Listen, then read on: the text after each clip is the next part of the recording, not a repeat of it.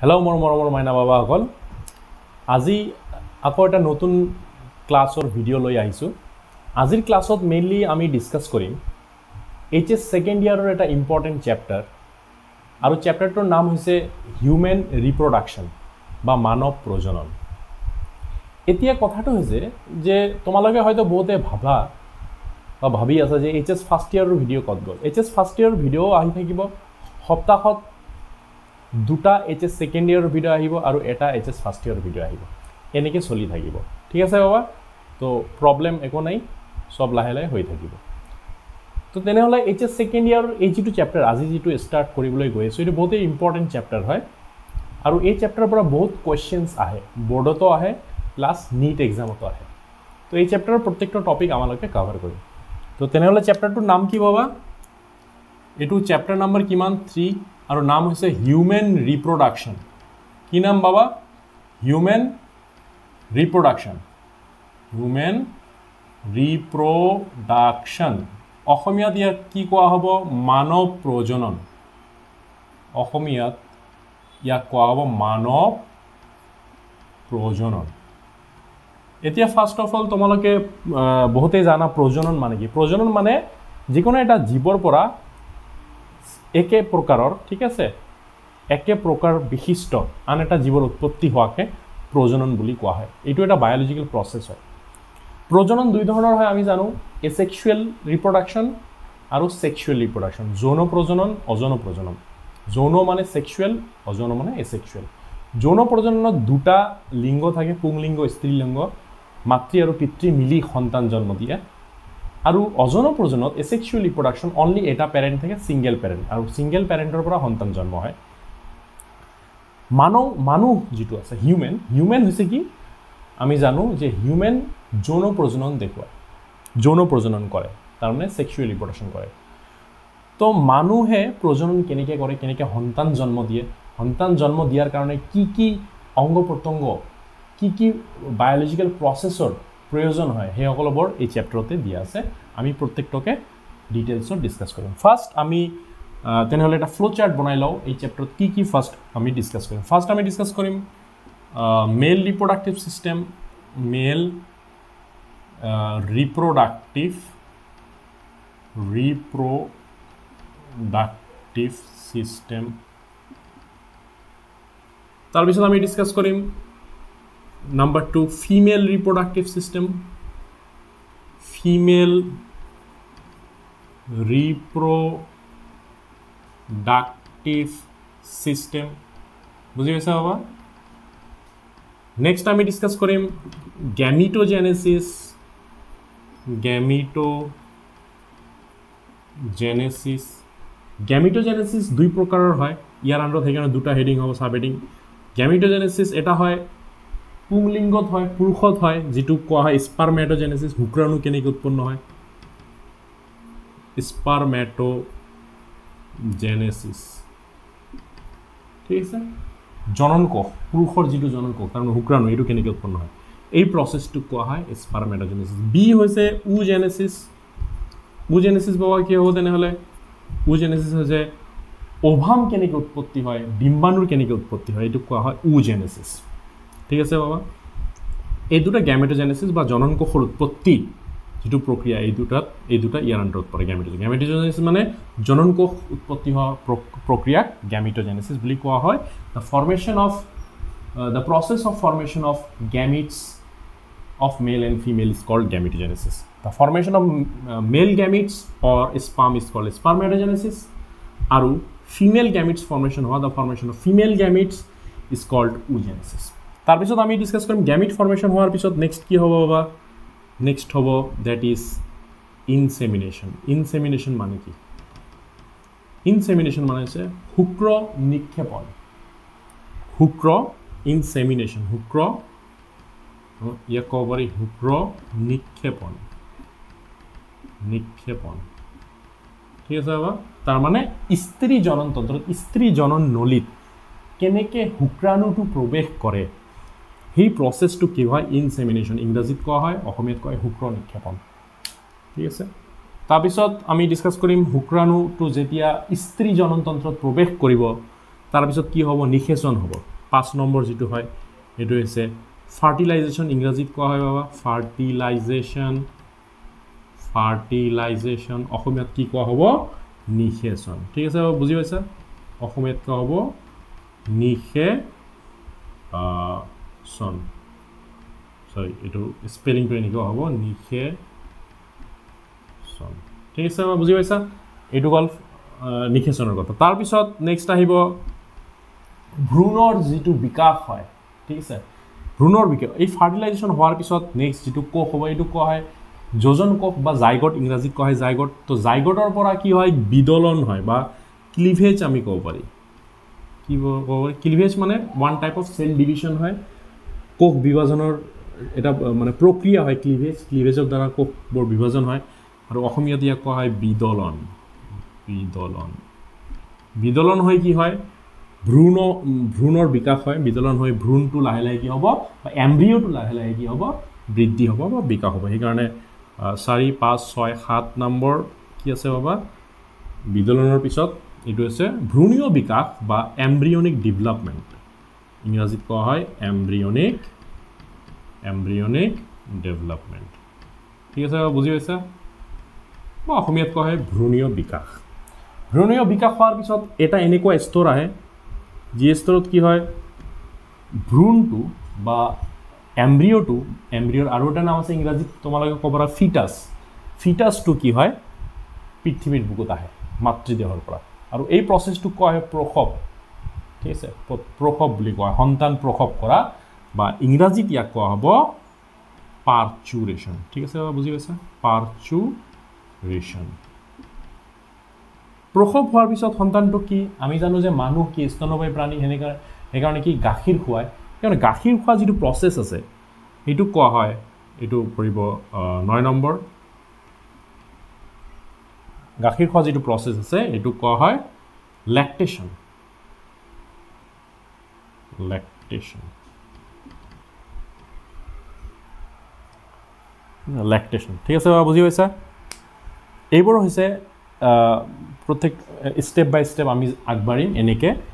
এই চেপ্টাৰত এইবোৰেই আছে এইবোৰ টপিকবোৰ প্ৰত্যেকটো টপিক আমি ডিটেইলছত ডিছকাছ কৰিম। ঠিক আছে বাৰু বুজি পাইছা? ঠিক আছে তেনেহ'লে এটা এটাকৈ আমি আগবাঢ়িম। তো ফাৰ্ষ্ট আমি ষ্টাৰ্ট কৰিম। ডেট ইজ মেইন থিং তাৰমানে মেল ৰিপ্ৰডাক্টিভ ছিষ্টেম এটা মেলৰ যিটো জননতন্ত্ৰ আছে ৰিপ্ৰডাক্টিভ ছিষ্টেম আছে এইটো কেনেকুৱা হয় দেখাত ইয়াৰ ভাগ কি কি আছে এইবোৰৰ কথা ডিছকাছ কৰিম। চ' মেল ৰিপ্ৰডাক্টিভ ছিষ্টেমত আমি দুটা বস্তু মনত ৰাখিব লাগিব দুটা ইয়াতে বস্তু আছে। এটা হৈছে প্ৰাইমেৰী ছেক্স অৰ্গেন ভালকৈ লিখি ৰাখিব এইবোৰ কথা কপি এটা লোৱা পেন লোৱা আৰু লিখি ৰাখা। তেনেহ'লে ৰিভিশ্যনত হেল্প হ'ব। যেতিয়া পৰীক্ষা আহিব তেতিয়া পৰীক্ষাৰ আগমুহূৰ্তত ৰিভিশ্যন কৰাত এইবোৰ হেল্প হ'ব। তো primary sex organ primary sex organ আৰু দুই নম্বৰটো হৈছে ছেকেণ্ডেৰী ছেকেণ্ডেৰী ছেক্স অৰ্গেন বুজি পাইছা বাবা?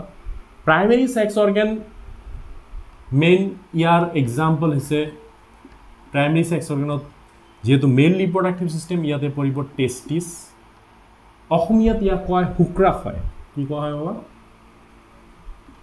শুক্ৰা হয় শুক্ৰা হয় বা টেষ্টিজ বুলি কোৱা হয়। টেষ্টিজক এইটো মই প্লুৰেল ফৰ্মত লিখিছোঁ ছিংগুলাৰ ফৰ্মত যেতিয়া এটা টেষ্টিজ বুজাব তেতিয়া ইয়াক লিখিব পাৰা T E S T I S plural ফৰ্মত T S T E S লিখিব পাৰা। ঠিক আছে এতিয়া ছেকেণ্ডেৰী ছেক্স অৰ্গেনত ফাৰ্ষ্ট ইয়াৰ আণ্ডাৰত আকৌ দুটা চাব টাইপ আছে। এটা হৈছে ছেকেণ্ডেৰী ছেক্স অৰ্গেনৰ ভিতৰত ফাৰ্ষ্টটো হৈছে accessory accessory sex ducts accessory sex ducts আৰু এটা হৈছে এক্সেচৰী ছেক্স গ্লান্স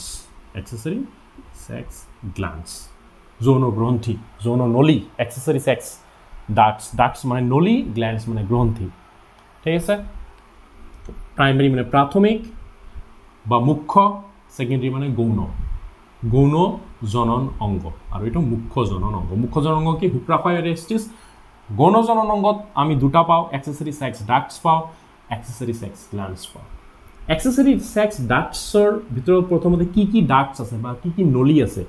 এটা পুৰুষত পুৰুষৰ জননতন্ত্ৰত নলীৰ ভিতৰত যদি ক'ব যাওঁ ফাৰ্ষ্ট যিটো আহিব এইটো হৈছে rete testis.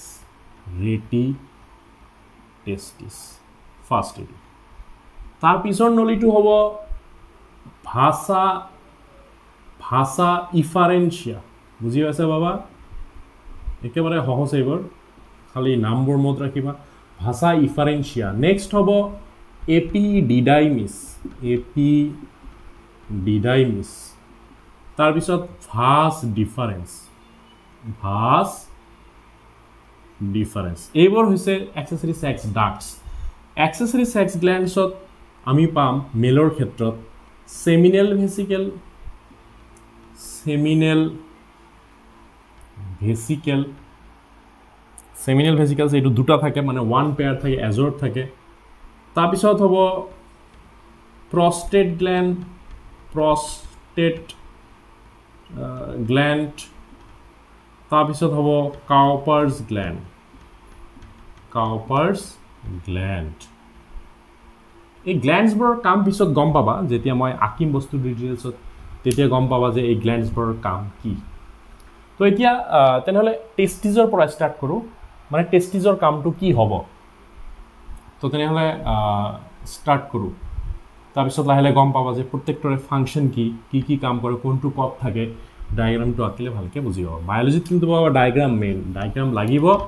ডায়েগ্ৰাম নহ'লে বায়'লজি পৰা ইনকমপ্লিট হৈ যাব। Diagram is very much necessary for your exam and for your concept concept এটা বিল্ড কৰাৰ কাৰণে ডায়েগ্ৰাম বহুত ইম্পৰ্টেণ্ট ঠিক আছে। প্ৰাইমেৰী ছেক্স অৰ্গেন বা টেষ্টিছ এইটো চোৱা টেষ্টিছটোৰ ফাৰ্ষ্ট অফ অল এটা মেলত এটা পুৰুষত টেষ্টিছটো ক'ত থাকিব? এটা পুৰুষৰ যিটো জনন তন্ত্ৰ আছে ইয়াৰ এটা পাৰ্ট হয় টেষ্টিছ শুক্ৰা হয় এইটো থাকে এবডমেনৰ বাহিৰত। পুৰুষৰ যিটো তল পেট আছে বা আমি এবডমেন বুলি কওঁ লোৱাৰ এবডমেন বুলি ক'ব পাৰি লোৱাৰ এবডমেনৰ লগত ওলমি থাকে এটা থলিত। শুক্ৰাশয়টো সেই থলিটোৰ ভিতৰত থাকে। আৰু সেই থলি বা চেকটোক আমি ক'ব পাৰি স্ক্ৰটাম। ইয়াৰ বিশেষ নাম আছে। মই ইয়াতে আঁকি দিলে গম পাবা বস্তুটো তুমি। ফাৰ্ষ্ট এনেকুৱা থলি থাকিব। ঠিক আছে বুজি পাইছা? এনেকুৱা থলি। এই থলিটোৰ ভিতৰত একচুৱেলি টেষ্টিছটো থাকে। থলিটোৰ নাম হৈছে স্ক্ৰটাম। স্ক্ৰটাম। এতিয়া এই থলিটোতে কিয় থাকে? বডিৰ ভিতৰত কিয় নাথাকে এইটো এটা কথা হ'ব পাৰে। চোৱা থলিটোত থকাৰ টেষ্টিছ বা শুক্ৰাশয় থলিটোত থকাৰ উদ্দেশ্য যিটো আছে এইটো হৈছে যে ইয়াৰ ভিতৰত থাকিলে শুক্ৰাণু শুক্ৰাণুটো ক'ত উৎপত্তি হ'ব? শুক্ৰাণু বা স্পাৰ্মৰ অৰিজিন ক'ত হ'ব? উৎপত্তি ক'ত হ'ব? শুক্ৰাশয়ত টেষ্টিজত তো টেষ্টিজত শুক্ৰাণু উৎপন্ন হোৱাৰ কাৰণে যিটো টেম্পাৰেচাৰ লাগে যিটো উষ্ণতা লাগে সেই পাৰ্টিকুলাৰ উষ্ণতা বা টেম্পাৰেচাৰ স্ক্ৰটামে প্ৰভাইড কৰে। ঠিক আছে? আৰু টেম্পাৰেচাৰটো আমাৰ শৰীৰৰ ভিতৰৰ যিখিনি টেম্পাৰেচাৰ আছে যিটো টেম্পাৰেচাৰ থাকে তাতকৈ two two two point five degree centigrade কম হ'ব লাগিব। ঠিক আছে? শৰীৰৰ উষ্ণতাত আমাৰ বডিৰ ইণ্টাৰনেল টেম্পাৰেচাৰত শুক্ৰাণুজনন বা শুক্ৰাণুৰ উৎপত্তি স্পাৰ্মৰ উৎপত্তি নহয়। স্পাৰ্মৰ উৎপত্তি হ'বলৈ হ'লে শৰীৰতকৈ কিমান ডিগ্ৰী কম থাকিব লাগিব?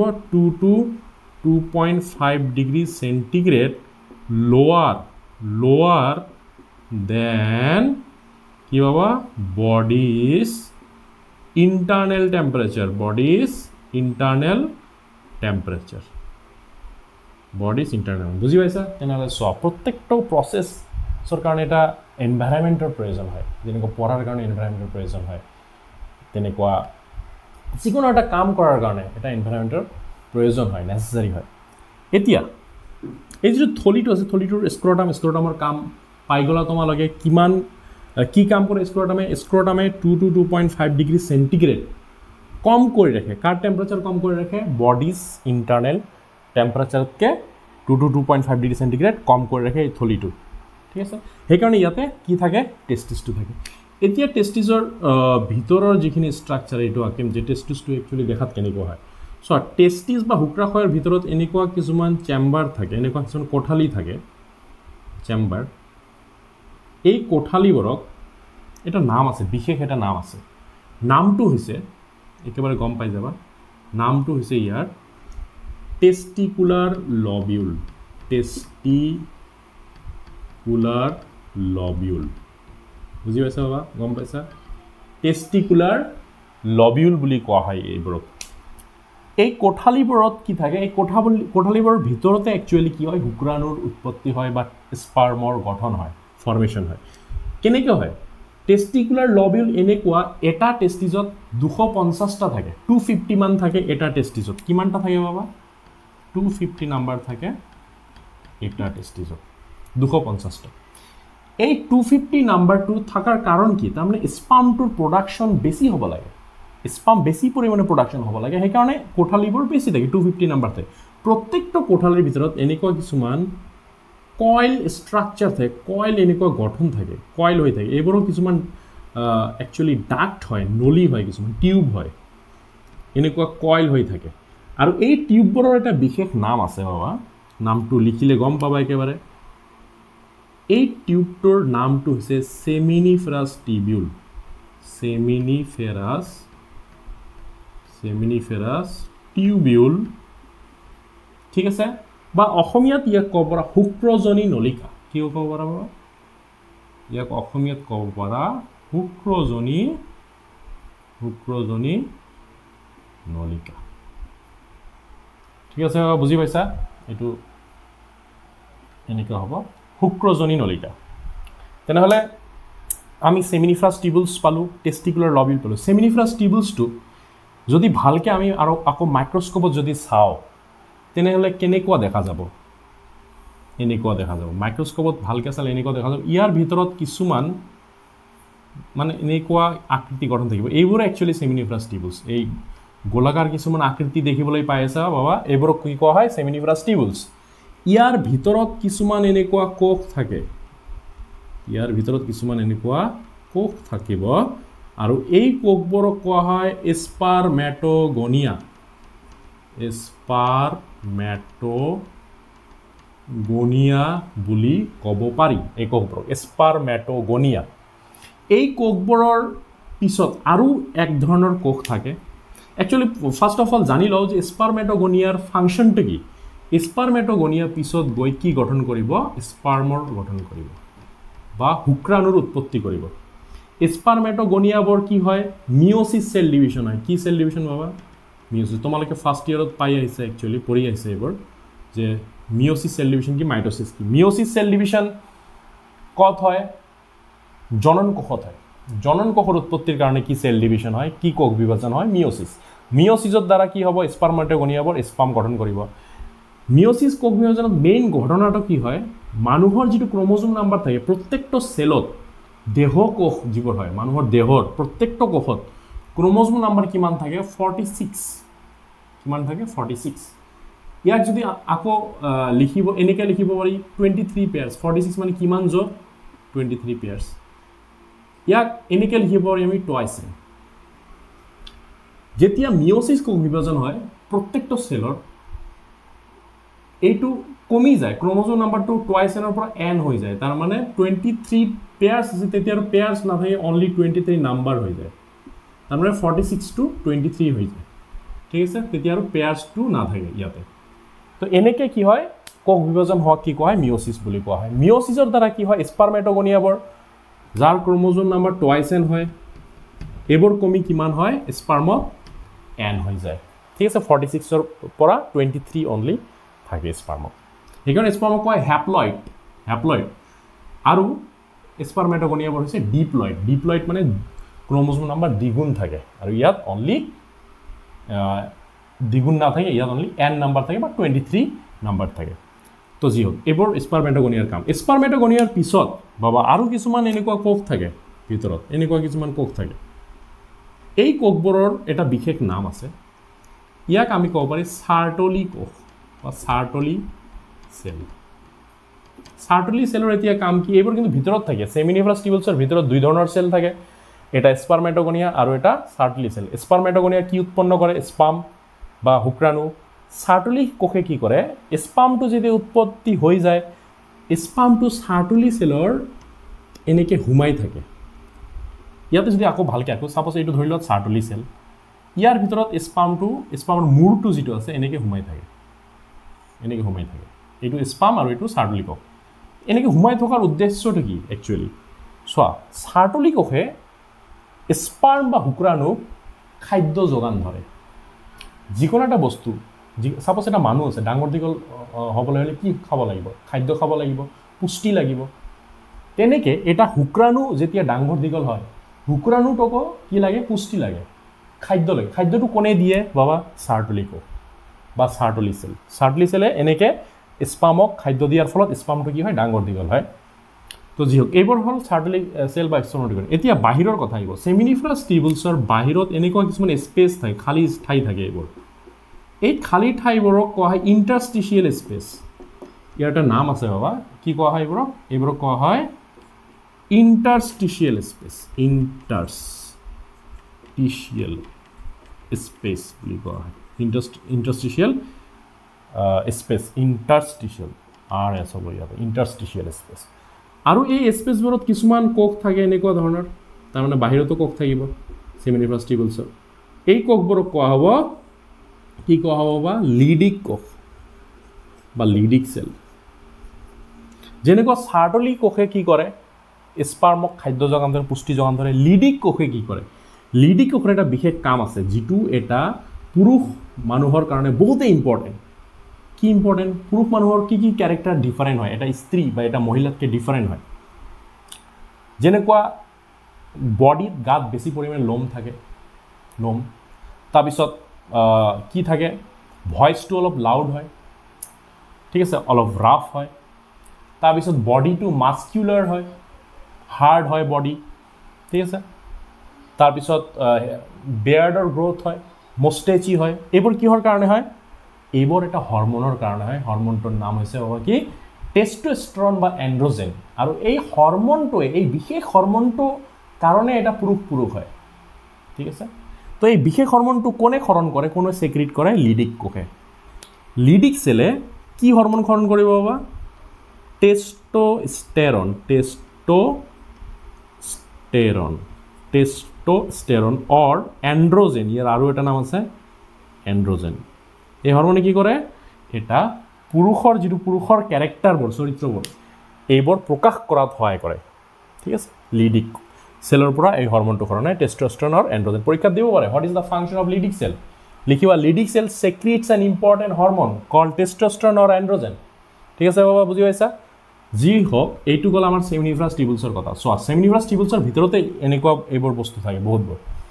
এতিয়া ছেমিনিফ্ৰাছ টিবুলছৰ পিছত টেষ্টিজৰ কিন্তু এইখিনিয়ে কাম মেইন ছেমিনিফ্ৰাছ টিবুলছ আৰু টেষ্টিকুলাৰ লবিউল এনেকুৱা টেষ্টিকুলাৰ লবিউলছৰ ভিতৰত এটা টেষ্টিকুলাৰ লবিউলৰ ভিতৰত টোটেল কিমানটা থাকে টেষ্টিকুলাৰ লবিউল টু ফিফটি এটাৰ ভিতৰত one two three seminiferous tubules থাকে। কিমানটা এটাৰ পৰা তিনিটালৈ ছেমিনিফ্ৰাছ টিবুলছ থাকিব পাৰে বা শুক্ৰজনী নলিকা থাকিব পাৰে। তো এতিয়া নেক্সট আহিব আমাৰ কি পঢ়িছিলোঁ আকৌ? Accessory sex glands sorry accessory sex ducts ঠিক আছে এক্সেচৰি যিবোৰ অৰ্গেন আছে ছেক্স অৰ্গেন তাৰ ভিতৰত দুটা আহিব accessory sex ducts accessory sex glands ঠিক আছে বাৰু বুজি পাইছা? এতিয়া ফাৰ্ষ্ট অফ অল আমি ডিছকাছ কৰিম এক্সেচৰি ছেক্স ডাক্টছ কোনবোৰ হয়। চোৱা ইয়াতে ছেমিনিফাৰাছ টিবুল এই কোঠালিবোৰ টেষ্টিকুলাৰ লবিলৰ বাহিৰত এই স্পেচটোত কিছুমান এনেকুৱা টিউব থাকে নলিকা থাকে এনেকুৱা আকৃতিৰ জালৰ নিচিনা থাকে নেটৰ নিচিনা। ঠিক আছে এই নলিকাবোৰ কাৰ লগত কানেক্ট হৈ থাকে? ছেমিনিভাৰাছ টিবুলছৰ লগত। ছেমিনিভাৰাছ টিবুলছৰ অট'মেটিকলি এটা নলিকা হয়। ঠিক আছে হয়নে নাই? এটা নলিকা হয়। এই ছেমিনিভাৰাছ টিবুলছৰ লগত এই বাহিৰৰ জালৰ নিচিনা দেখাত নলিকাবোৰ কানেক্ট হৈ থাকে। আৰু এই নলিকাবোৰৰ এটা নাম আছে। এই নলিকাবোৰক কোৱা হয় ৰেটি টেষ্টিছ এইটো এটা এক্সেচৰি ছেক্স গ্লেন্স মই ব্লেক পেন দি লিখি আছোঁ। ব্লেক মাৰ্কাৰ দি। এইটো হৈছে ৰেটি টেষ্টিছ বুজি পাইছা বাবা? ৰেটি টেষ্টিছ এই জালৰ নিচিনা যিবোৰ নলিকা দেখা পোৱা এইবোৰ কাৰ কাৰ লগত কানেক্ট হৈ থাকে? ছেমিনিভাৰাছ টিবুলছৰ লগত। এইবোৰক কি কোৱা হয় বাবা? ৰেটি টেষ্টিছ ৰেটি টেষ্টিছক অসমীয়াত ক'ব পাৰি বৃষণ জাল। ঠিক আছে? কি ক'ব পাৰি? বৃষণ। অসমীয়া মিডিয়ামৰ ষ্টুডেণ্ট থাকিলে তোমালোকে এইটো লিখি ৰাখিবা বৃষণ জাল। ঠিক আছে? বৃষণ জাল। ৰেটি টেষ্টিছ। এইটো এটা এক্সেচেৰি ছেক্স ডাক্টছ ইয়াৰ পিছত ৰেটি টেষ্টিছবোৰ ৰেডি টেষ্টিছবোৰৰ লগত আৰু কিছুমান এনেকুৱা নলী থাকে। ঠিক আছে? আৰু কিছুমান এনেকুৱা নলী যুক্ত হৈ থাকে। ঠিক আছে? এই নলিকাবোৰক কোৱা হয় ভাষা ইফাৰেঞ্চিয়া। কি কোৱা হয় বাবা? এইবোৰক কোৱা হয় দেট ইজ দ্য ভাষা ইফাৰেঞ্চিয়া ভাষা ইফাৰেঞ্চিয়া এক্সেচেৰি ছেক্স ডাক্স এই যিমানবোৰ ডাক্স আছে বা নলিকা আছে এক্সেচেৰি ছেক্স ডাক্স এইবোৰৰ মেইন উদ্দেশ্যটো কি মেইন কামটো কি শুক্ৰাণুৰ যিটো গঠন হয় ক'ত গঠন হ'ব? ছেমিনিফাৰাছ টিবুলছত ছেমিনিফাৰাছ টিবুলছত শুক্ৰাণু গঠন হোৱাৰ পিছত এই শুক্ৰাণুটোক কঢ়িয়াই লৈ যায় বাহিৰ ফালে কোনে লৈ যাব? এই এক্সেচেৰি ছেক্স ডাক্টছবোৰ তাৰ ভিতৰত এটা হৈছে rete testis rete testis seminiferous টিবুলছৰ পৰা শুক্ৰাণুটো লৈ লয়। তাৰপিছত ৰেডি টেষ্টিছৰ পৰা নেক্সট শুক্ৰাণুটো ক'ত যাব? ভাষা ইফাৰেঞ্চিয়া এই এই নলিকাবোৰত ভাষা ইফাৰেঞ্চিয়াটো এটা কানেক্ট থাকে এটা দীঘল নলিকাৰ লগত। এনেকুৱা কইল এটা দীঘল নলিকা থাকে। ঠিক আছে ইয়াৰ লগত যুক্ত হৈ থাকে। এনেকুৱা এটা ষ্ট্ৰাকচাৰ আমি দেখিবলৈ পাওঁ। আৰু এই দীঘল নলিকাডালৰ এটা নাম আছে। ইয়াৰ নাম হৈছে A P D ডাইমিছ A P D ডাইমিছ ঠিক আছে? এইটো এটা বহুত এটা ডাঙৰ এটা দীঘল নলিকা ঠিক আছে? এইটো কাৰ লগত কানেক্ট থাকে এ পি ডি ডাইমিছ আমাৰ ভাষা ইফাৰেঞ্চিয়াৰ লগত ভাষা ইফাৰেঞ্চিয়াৰ পৰা শুক্ৰাণুটো নেক্সট ক'ত যাব? A P D ডাইমিছ A P ডি ডাইমিছৰ লগত আৰু এটা দীঘল নলিকা এটা কানেক্ট হৈ থাকে। এনেকুৱা ধৰণৰ। এনেকুৱা ধৰণৰ এটা নলিকা কানেক্ট হৈ থাকে। ঠিক আছে? এনেকুৱা। এনেকুৱা এটা দীঘল নলিকা কানেক্ট হৈ থাকিব। আৰু এই নলিকাৰ এটা নাম আছে বিশেষ ইয়াৰ নাম আছে ভাছ ডিফাৰেঞ্চ বা শুক্ৰবাহী নলিকা ক'ব পাৰা। কি ক'ব বা শুক্ৰবাহী নলিকা। এপিডিডাইমিছ অসমীয়াতো এপিডিডাইমিছ কোৱা হয়। ঠিক আছে? ভাষা ইফাৰেঞ্চিয়া শুক্ৰজনী নলিকা। তাৰপিছত ৰেটি টেষ্টিছ বৃষণজাল। আৰু ভাজ ডিফাৰেঞ্চ শুক্ৰবাহী নলিকা বুলি ক'ব পাৰি আমি।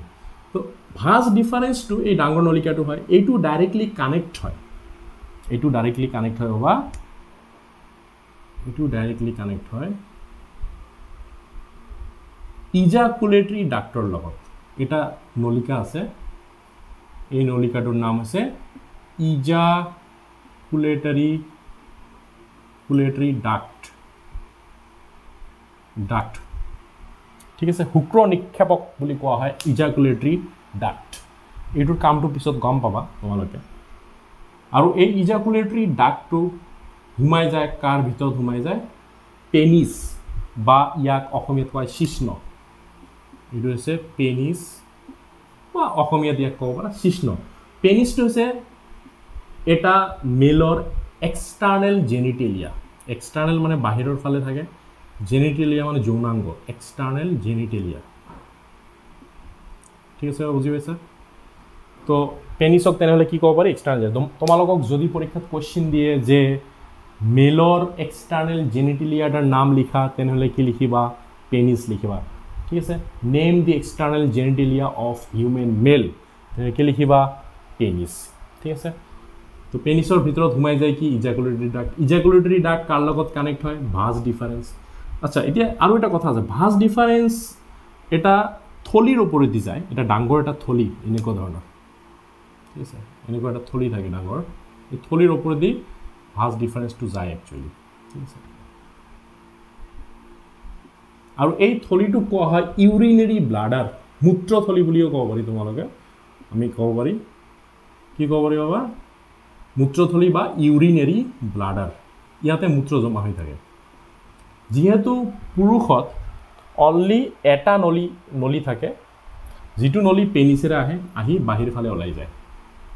আৰু এই এটা নলীৰে শুক্ৰাণুও ওলাই যাব বা বীৰ্য ওলাই যাব বা মূত্ৰ ওলাই যায়। কিন্তু স্ত্ৰীৰ ক্ষেত্ৰত ঠিক আছে এনেকুৱা এটা নলী নাথাকে দুটা নলী থাকে।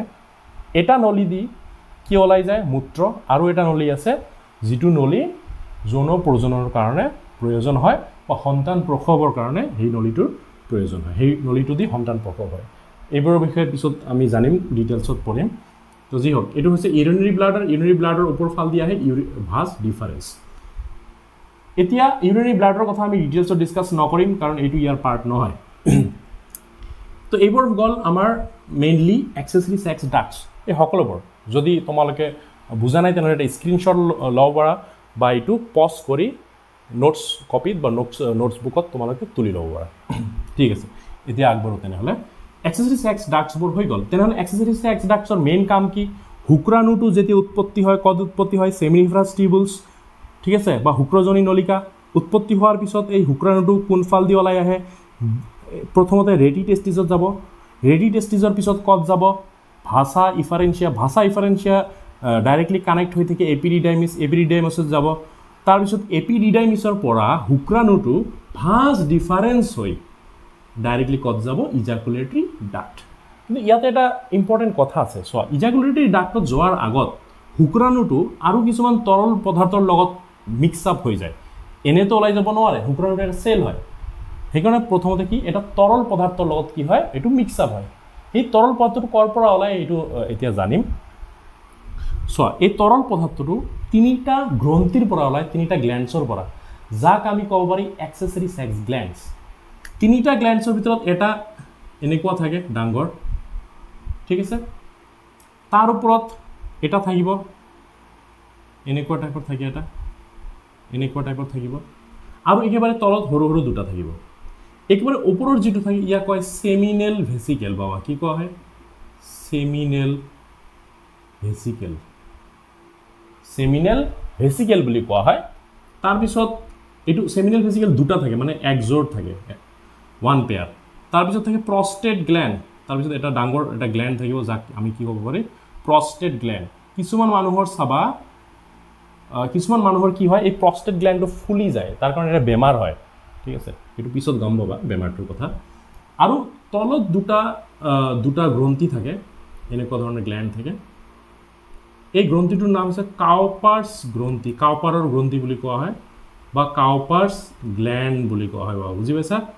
কাউপাৰ্ছ গ্লেণ্ড তো এই তিনিটাক আমি এক্সেচৰি ছেক্স গ্লেণ্ডছ বুলি ক'ব পাৰি। Seminal vesicles prostate gland Cowper's gland পৰীক্ষাত আহিব পাৰে সেইকাৰণে মনত ৰাখিবা এইটো। এতিয়া কি হ'ব? এই তিনিটা গ্ৰন্থিৰ কাম কি? চোৱা চেমিনেল ভেচিকেলছ প্ৰষ্টেট গ্লেণ্ড আৰু কাউপাৰ গ্লেণ্ড এই তিনিটা গ্ৰন্থিৰ পৰা এটা তৰাল তৰল পদাৰ্থ ঠিক আছে? তৰল পদাৰ্থ কিছুমান খৰণ হয়। চেমিনেল ভেচিকেলছৰ পৰা কিছুমান বিশেষ ধৰণৰ তৰল পদাৰ্থ খৰণ হ'ব। প্ৰষ্টেট গ্লেণ্ডৰ পৰা খৰণ হ'ব। কাউপাৰ্ছ গ্লেণ্ডৰ পৰা খৰণ হ'ব। আৰু এই তৰল পদাৰ্থটোৰ এটা নাম আছে যাক আমি ক'ব পাৰি চেমিনেল প্লাজমা কি ক'ব পাৰি বাবা? Seminal seminal plasma seminal plasma তেনেহ'লে কি? তোমালোকক যদি কুৱেশ্যন দিয়ে what is call seminal plasma তেনেহ'লে লিখিবা secretion of accessory sex glands of male or লিখিব পাৰে secretion of seminal vesicle prostate gland Cowper's gland এই তিনিটা গ্লেণ্ডক এক্সেচৰি ছেক্স গ্লেণ্ডছ বুলি ক'ব পাৰি। সেইকাৰণে লিখিব পাৰা secretion of accessory sex glands of male ঠিক আছে? এই ছেক্ৰিশ্যনটোক কি কোৱা হয়? চেমিনেল প্লাজমা চেমিনেল প্লাজমা ইয়াতে খৰণ হ'ব। ডাইৰেক্টলি খৰণ হৈ ক'ত আহিব? ইজাকুলেটৰী ডাক্টত আৰু ভাজ ডিফাৰেঞ্চ ইয়াৰ নলীটো কিন্তু বেলেগ হয়। চেমিনেল প্লাজমাৰ পৰা যিটো নলী ওলায় এইটো নলী বেলেগ। এইটো ডাইৰেক্টলি কানেক্ট হয় কাৰ লগত? ইজাকুলেটৰী ডাক্টৰ লগত। আৰু ভাজ ডিফাৰেঞ্চো আহি ক'ত কানেক্ট হ'ব? ইজাকুলেটৰী ডাক্ট ভাজ ডিফাৰেঞ্চ দি কি আহিব? শুক্ৰাণু আহিব। আৰু এই তিনিটা গ্ৰন্থিৰ পৰা কি আহিব? চেমিনেল প্লাজমা চেমিনেল প্লাজমা এই ইজাকুলেটৰী ডাক্টত কাৰ লগত মিক্স আপ হ'ব? শুক্ৰাণুৰ লগত বা স্পামৰ লগত। মিক্স আপ হৈ এটা লিকুইড এটা হোৱাইট বা পেল য়েল' কালাৰ এটা লিকুইড ওলায়। আৰু এই লিকুইডটোক আমি ক'ব পাৰি অসমীয়াত ক'ব পাৰি বীৰ্য বা ইংৰাজীত আমি ক'ব পাৰি চিমেণ্ট। তেনেহ'লে বাবা কি লিকুইডটো চিমেণ্ট কি চেমি চিমেণ্ট হৈছে চেমিনেল প্লাজমা আৰু স্পাৰ্মক একেলগে আমি কি ক'ব পাৰি? চিমেণ্ট বুলি ক'ব পাৰি। ঠিক আছে? তোমালোকক যদি কুৱেশ্যন দিয়ে হোৱাট ইজ কল চিমেণ্ট তেনেহ'লে কেনেকৈ লিখিবা?